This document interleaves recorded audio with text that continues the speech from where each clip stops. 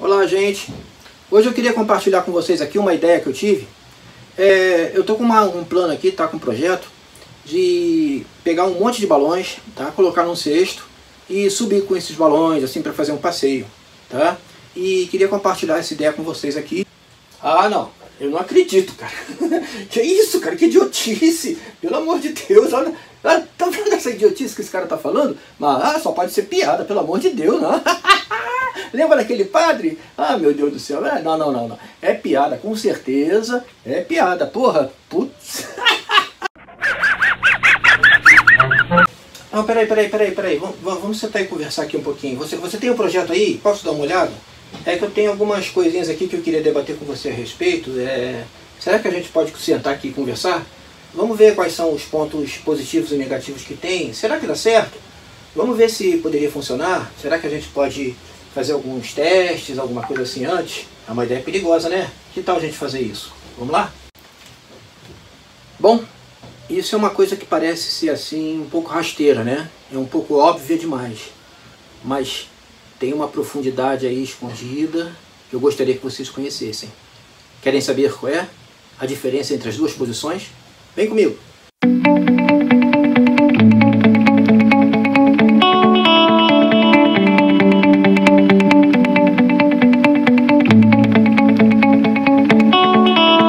O seguinte, a primeira posição na, que a minha ideia ali foi zombada, né? Foi uma zombaria, é, foi transformada em piada, foi transformada em anedota, as pessoas riram da ideia.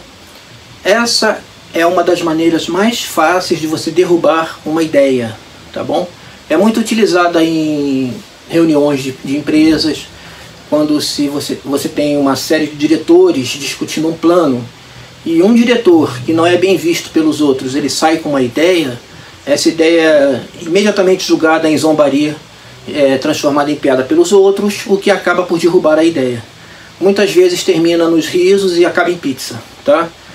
E a outra forma de ver a ideia, é, o, o, outro formato, é você convidar a pessoa a estudar o projeto, a ver se, se existe uma forma de testar o projeto para ver se ele funciona ou não. Ou seja, as duas diferenças entre você derrubar uma ideia e você refutar uma ideia. Tá? Quando você quer derrubar uma ideia, seja ela válida ou não, a melhor forma que tem, uma das melhores formas que tem, é você zombar dela, transformá-la numa piada. Tá? Isso é uma coisa que Freud falava muito na sua psicologia. Depois, o Freud foi só um ponto de partida, eu reconheço, tudo bem, mas foi existe, tá? Uma forma de você destruir uma ideia ou uma pessoa é através de brincadeiras, através de pilhérias, ou como dizia Freud, xiste. Todo xiste tem um fundo de, de masoquismo, tem um fundo de sadismo no caso, perdão, a palavra correta é sadismo, tá? É, toda piada tem o seu fundo de maldade, por mais inocente que seja. Você sempre atinge uma classe, sempre atinge um grupo, sempre atinge uma ideia, sempre atinge uma minoria ou sempre atinge um, um grupo político. Então é muito fácil você destruir uma opinião ou uma ideia ou uma hipótese através de pilhérias de brincadeiras. Muito mais difícil é você fazer o correto, ou seja, pesquisar, procurar evidências, testar, ou como se diz cientificamente, falsear a ideia, o projeto, e tentar encontrar neles as falhas, certo? Ou a coisa mais indicado a fazer seria você mostrar o projeto a outras pessoas cientistas, a outras pessoas envolvidas que podem contribuir, tá? que tenham uma mente científica, de preferência aquelas pessoas que não gostam de você. Por quê? Porque essas pessoas vão tentar te derrubar cientificamente, tá? Não no modo da anedota aqui que eu falei. Repetindo, a tentativa de derrubar uma ideia pela anedota, pela piada, ela não quer saber se a, se a, ideia é correta, se a ideia vale a pena, se é uma boa ideia ou não. Ela simplesmente quer derrubar a piada. Ou porque a pessoa é um desafeto, ou porque a pessoa tem crenças diferentes. Ou ainda por se tratar de pessoa de um partido político oposto àquele que você gosta. Ou por a pessoa ainda, outro motivo ainda, pela pessoa participar ou ser parte de uma religião contrária à sua, certo? Então, toda vez que vocês quiserem refutar uma ideia, vocês não concordarem com a ideia de alguém, debatam, vejam os motivos, utilizem da famosa empatia, ou seja, se coloquem no lugar da outra pessoa, tentem pensar como ela. Peçam para essa pessoa mostrar os projetos para você. Aí sim você vai ver os projetos e você vai ter condições de pesquisar, levar para casa, estudar e de repente conseguir refutar aquela ideia. Ou não, de repente você acha que aquela ideia é uma boa ideia e bora, bota para frente, né? Chega pro teu colega lá e diz, ó, oh, gostei, gostei da ideia. Se quiser um apoio, tem todo o meu apoio. Entendeu? Ou então, ó, infelizmente não vai dar certo por isso, por isso, por isso, por isso.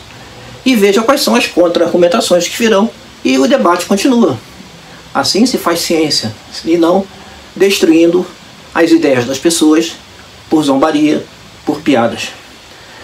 Minha culpa, minha culpa, eu já me peguei várias vezes fazendo isso, brincando, tá?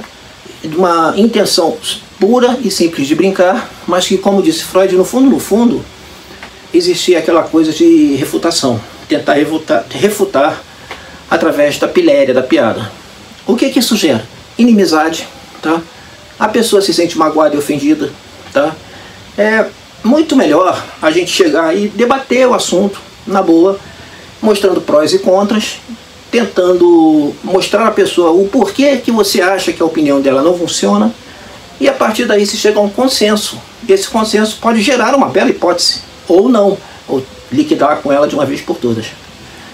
Eu acabei de assistir ainda agora um dia desses, ainda agora não, um dia desses, o um episódio de The Big Bang Theory, onde uma teoria do Shadow e da Amy, que eles já tinham dado por fracassada, de repente ressurge.